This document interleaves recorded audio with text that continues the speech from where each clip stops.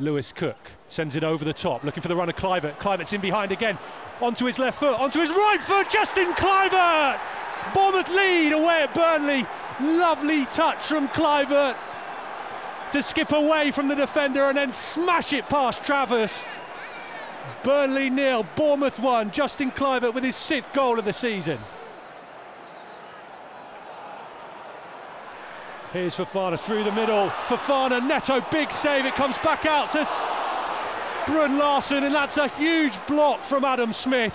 Neto was out of position having made the initial save. Bruun Larsen with the goal wide open. Adam Smith with his hands behind the back to avoid giving away a handball. Stood big and strong and got the block in, and that's why it's still Burnley nil, Bournemouth one.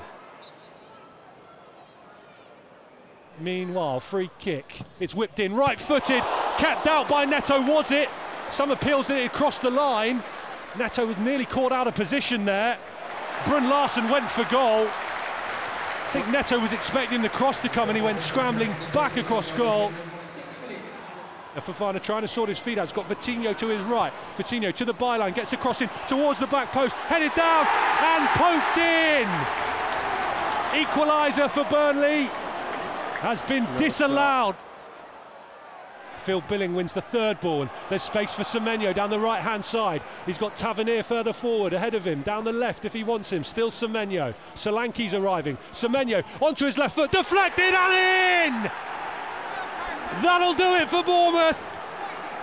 Antoine Semenyo, his fifth goal of the season, will seal their first win in 2024 in the Premier League. They go 2 0 up away at Burnley.